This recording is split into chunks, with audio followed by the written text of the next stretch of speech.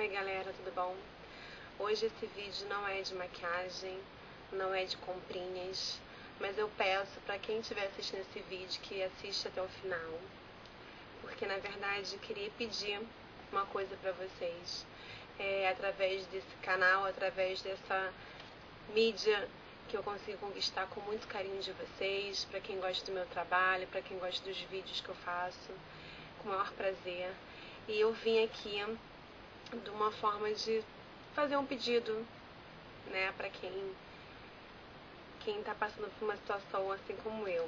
É, na verdade, a gente sempre acaba dizendo que nunca vai acontecer com a gente. A gente vê na televisão, a gente vê um amigo nosso pessoas próximas, mas a gente acha que nunca vai acontecer com a gente. E eu realmente estou passando por uma situação muito ruim é, na minha família, onde uma prima minha, que tem apenas 27 anos, está com leucemia. E leucemia nada mais é um tipo de câncer que atinge a medula óssea. E eu vim aqui pedir para vocês que estão assistindo que contribuam de certa forma para salvar não só talvez a vida da minha prima ou a vida de qualquer pessoa, qualquer criança, qualquer mulher, qualquer mãe que esteja numa situação dessa. É, é muito ruim a gente ter que passar por uma situação desse tipo para ter que se sentir solidária ou nossa, cair a ficha falar, nossa, quantas pessoas devem estar passando por isso, já passaram por isso. É muito ruim mesmo. E assim, é uma coisa tão simples, que qualquer um pode fazer é, para você contribuir, para você de repente ser uma futura doadora de medula óssea, que pode sim salvar uma vida e que infelizmente a probabilidade de chance de ser 100% compatível é de 0,01%. Então, assim, é, eu espero mesmo que as pessoas que assistem esse vídeo Poxa, se cada pessoa que assistisse pelo menos conseguisse ou fosse de repente contribuir com apenas 5 ml do seu sangue, com certeza eu ficaria muito grata. Porque com certeza muitas vidas poderiam ser salvas por causa disso.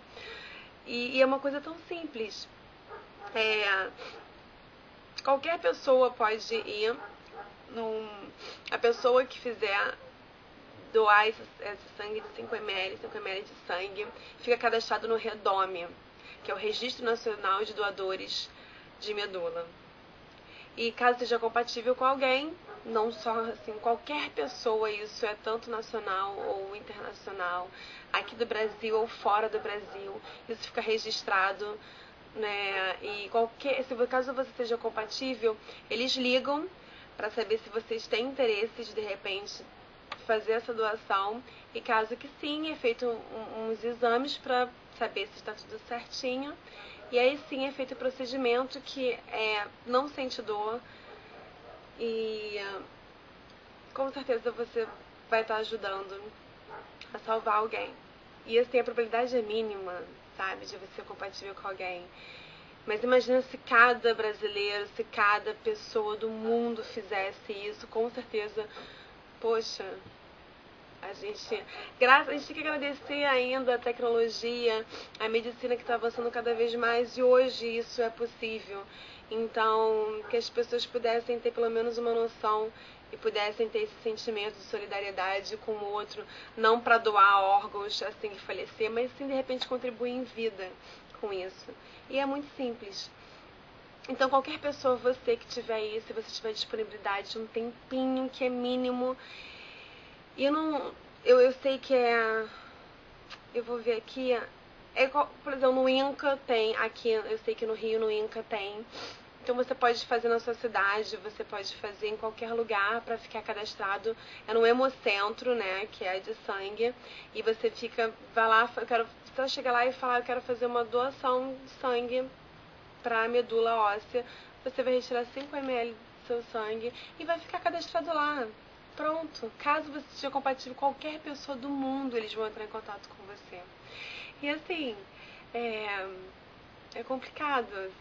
Eu, eu, eu tô pedindo isso porque, infelizmente, uma pessoa da minha família está passando por essa situação. Claro que eu não queria que tivesse acontecendo isso.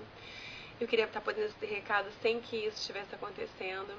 Mas eu não venho aqui para pedir ou para ter um sentimento de pena de qualquer um de vocês. Muito pelo contrário, porque eu tenho muita admiração pela minha prima. Ela é uma pessoa guerreira, tem uma filha pequena, linda.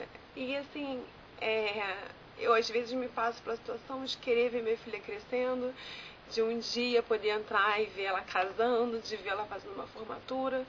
Enfim, assim como muitas pessoas, crianças, jovens que passam por essa situação.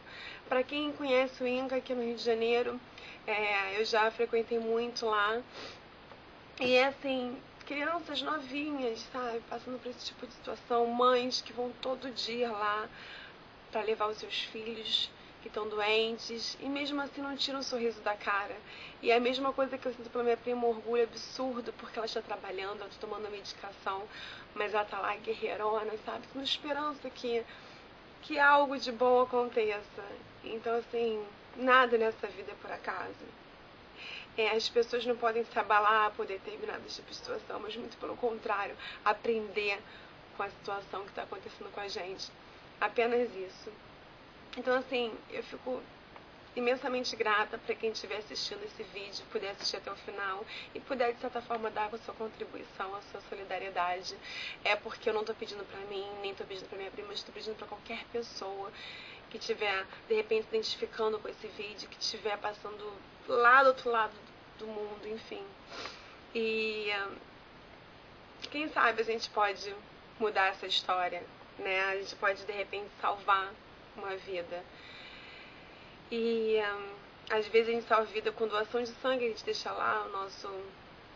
Porque pode também aproveitar no Hemocentro fazer doação de sangue, a gente deixa lá o nosso sangue para qualquer pessoa que precise, que, é com... que seja compatível. E isso, como mais uma vez eu digo, não é só feito nacionalmente, mas internacionalmente. Então, se você estiver nos Estados Unidos, na Argentina, se você estiver na Alemanha, onde você quer que esteja, você pode estar fazendo isso. E de repente mudar a história não só da minha prima, mas de qualquer pessoa.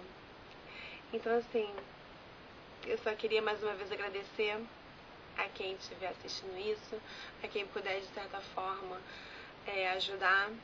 É, infelizmente não era uma situação que eu queria estar passando, mas Independente disso, eu acho que eu faria isso por qualquer pessoa. Independente se uma pessoa da minha família, um ente querido, uma pessoa, um amigo próximo estivesse passando por essa necessidade. Que, assim, eu só tenho.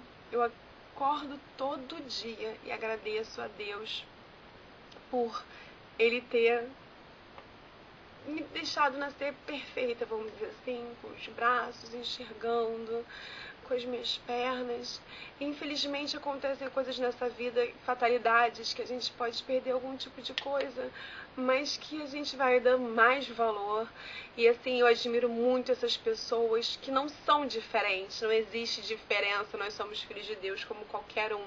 Simplesmente pode ter nascido sem uma perna, mas que, poxa, tem tanta garra e é tão corajoso tanto quanto a gente que nasceu andando ou que a gente nasceu enxergando. Então, assim, é porque a gente não dá valor pro que a gente tem. Só quando a gente perde em todos os sentidos. Então, assim, mesmo que você não ajude, mesmo que você não possa, porque é normal, a gente tem a nossa vida que é uma correria, enfim, mas que pelo menos você possa acordar todo dia e agradecer por tudo que Deus te deu e por tudo que Deus te dá. Porque mas é muito ruim a gente aprender a dar valor só quando a gente perder. Então é isso. Mais uma vez eu agradeço. É... Eu tô torcendo para que assim, a doação pode ser feita por qualquer pessoa de 18 a 55 anos de idade que nunca teve é, e não tem câncer. Então, assim, quem puder contribuir, mais uma vez eu agradeço. Quem quiser alguma informação melhor a respeito, pode me mandar um e-mail, pode deixar comentários, que eu terei o maior prazer em responder. Muito obrigada mais uma vez. E é isso. Um grande beijo. Tchau.